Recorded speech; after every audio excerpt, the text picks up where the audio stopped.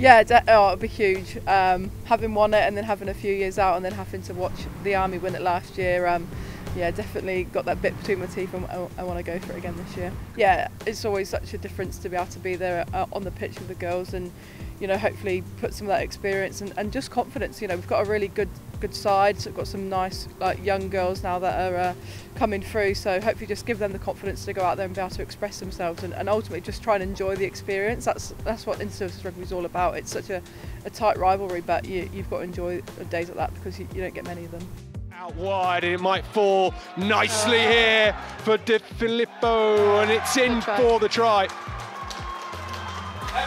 Well, what a start from the RAF.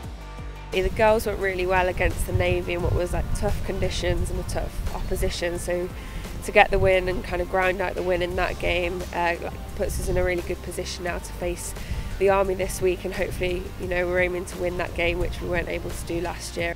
De Filippo and into the hands of Greasley. Greasley charging for the line for the RAF and she will not be stopped. It's frustrating no one wants to be injured, especially at the business end of the season, but uh, the girls have got such a good opportunity this weekend against the Army and training's been positive, girls are coming together and I think it's going to be a really exciting match. You're going to have a, a bit of a job to do. I think you're, you're water carrier, aren't you?